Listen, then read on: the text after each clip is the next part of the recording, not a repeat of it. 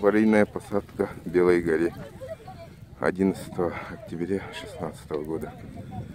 Сели мимо полосы на речку.